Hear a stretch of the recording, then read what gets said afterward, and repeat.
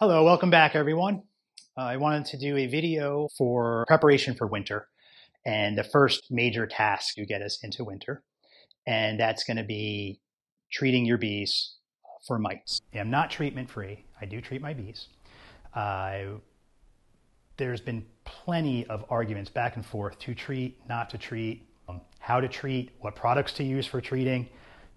I, I, this is not a forum to have all of those arguments. You can go to any beekeeping forum and, you know, get all the attitude and ego that you can handle and have all those arguments there. And you could flex your ego and your attitude just as much. But as far as my channel goes, it's not really what this channel is designed for. It's really designed for the, the newer beekeeper, uh, the beginning beekeeper, maybe somebody who hasn't even started beekeeping and you know these are just my methods. I've said it before in other videos. I'm going to say it again.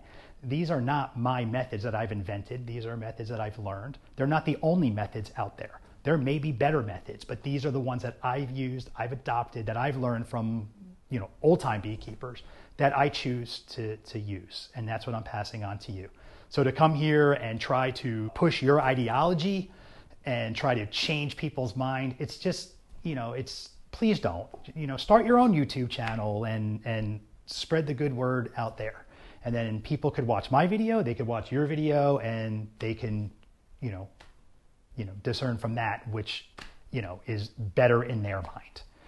So, that being said, let's get right into treatment. Let's talk about mites first. Uh, a little information about mites that people may not know. Uh, the varroa mite itself does not kill your bees. Doesn't. That's not what kills the bees it's the viruses and diseases that the varroa mite transfers to the bees. And then they usually die over the winter time because the bees are just too weak. The populations dwindle, the bees are just not healthy, and since winter is the biggest challenge for the bees, although when they're happy and healthy, they, they do it in stride. So we, we have to have strong, happy, healthy bees going into winter. I do a knockdown treatment first, and then a cleanup round. They're, they're well spaced apart. I'll give you the timeline right now. My knockdown treatment, I use Formic Pro. Uh, it's a product you can get at any bee supply. And I do that in mid August because I want my treatments done, you know, you know, by the time, you know, those winter bees are starting to emerge and, and be produced. So winter bees live longer than your regular bees during the regular season. They're literally working themselves to death when they become foragers. Well, there's no foragers over winter, so there's no working anybody to death. So they're going to live longer. They live a couple, maybe a few months. And that's why it is so important to have your bees mite and virus free before then. But not too soon because you don't want the mite loads to build back up from the earlier bees that, you know, uh, die in four to six weeks, and then now your winter bees are being, and, and then you already did your treatment, you know, before the winter bees are even uh, emerging and being born. That's a knockdown treatment. Then your cleanup round, that's what I do. I use oxalic acid. The cleanup round is, I do it, I used to do it around Thanksgiving. I always try to time things around like holidays if I can, because it's easy to remember. However, the you know, the falls, the late falls, at least where I'm at, have been a little bit on the milder side.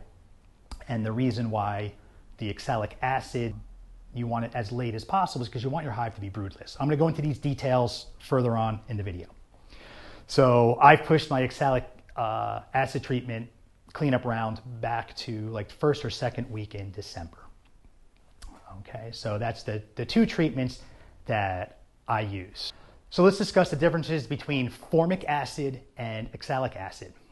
Um, there's pros and cons to each, and that's why I use them the way that I do, because they actually wind up complementing each other, in my opinion.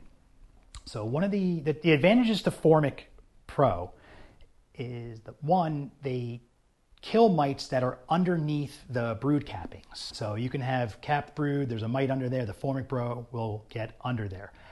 Oxalic acid does not kill mites under the brood cappings. They only kill exposed mites. Another advantage to Formic Pro, you can use it with the honey supers on. It's, it's approved. Um, so in, in the summertime, that's when your honey super's on. great, uh, Formic Pro is a great candidate for that. Oxalic acid, I use that later on down the line in you know late fall. One, the there's very little brood in the hive. The queen pretty much shuts down brood production. So the issue of not getting under the caps is a non-issue. And nobody's got honey supers on for human consumption that late in the season. So that problem kind of just works itself out. So that's the advantages and disadvantages and why I use them together and in conjunction with each other that way. It just works out, you know, really, really well. You know, I'll go over the both formic acid and oxalic acid and how they're both used. I'm not going to demonstrate either one because that's something that you you kind of have to research on your own. The oxalic acid, I, will probably do a demonstration video of that when I treat my bees. That's not too uh, complicated or invasive. The formic has to be done exactly like as the instructions say. So this is how the Formic Pro comes. It comes in a little pouch. There's two pads in here. So one of these is one dose. You can use it in any configuration. If you look on, I don't know how well you can see this. I'm going to try to scan this and put this in the info section on, you know, this video. Uh, who knows? I'll, maybe I'll try to figure out how to actually put this in the video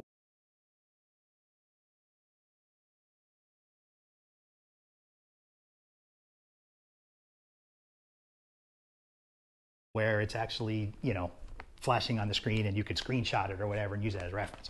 But however, this does come in any order of Formic Pro that you get is going to have this and you have to follow it. So you can use it on single deeps. Um, you can use it on a single deep with a honey super. You can use it on double deeps, double deep with a honey super.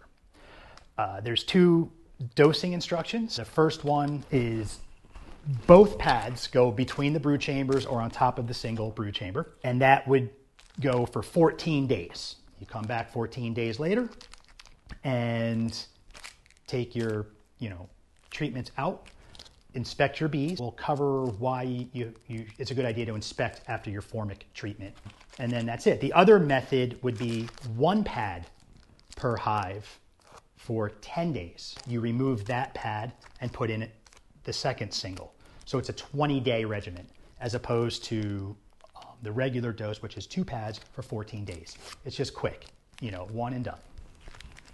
Um, so that's how formic is administered. Oxalic acid is a little more uh, complicated to get it into the hive, but not as sensitive. This right here is what I started out with. Uh, this is like $100 you know, I would say very entry level, beginner level, and I, I, I, wouldn't, you know, I would encourage any new beekeeper to get this. You don't want to drop all this money, you know, and, and maybe beekeeping doesn't work out for you, and then you just invested all this money into what essentially is just a failed hobby. So this connects to a 12 volt battery with your little alligator clips.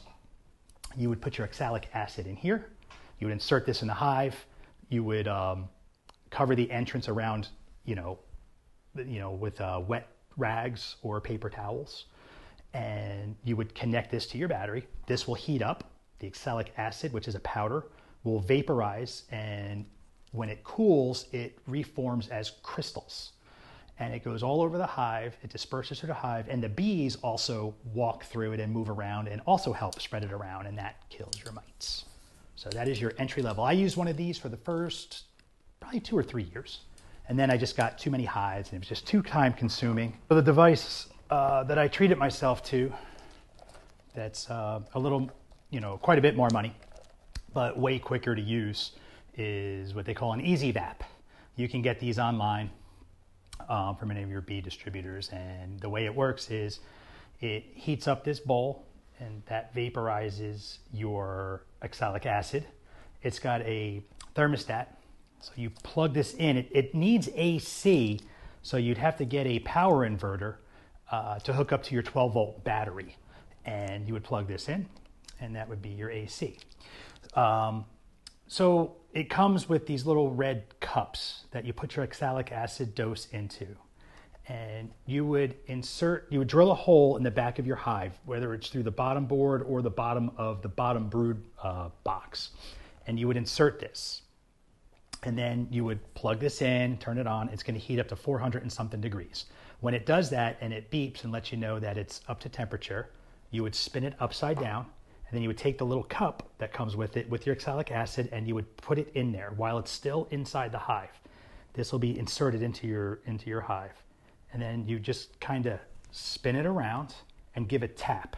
And all that oxalic acid will drop down into this bowl and it'll vaporize and it'll shoot through this little copper tube into your hive and it'll vaporize your hive. And that's it. They're they're pretty expensive, uh, but they're really fast. I mean, if you have 20, 30 hives, I mean, it's worth it. And that's it. That's it for mite treatments and the first phase of winter prep.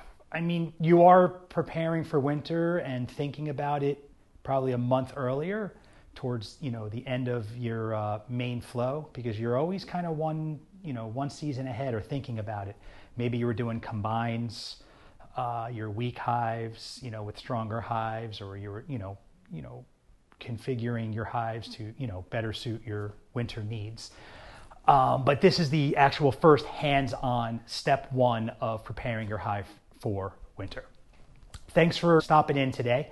If you have any questions, please, please uh, drop a comment, ask a question.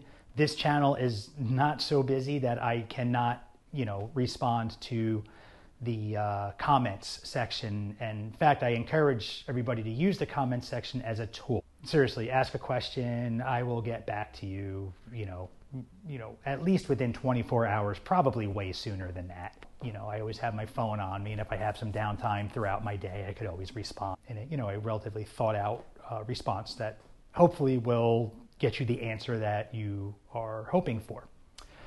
Thanks for stopping by again, and we will see you next time.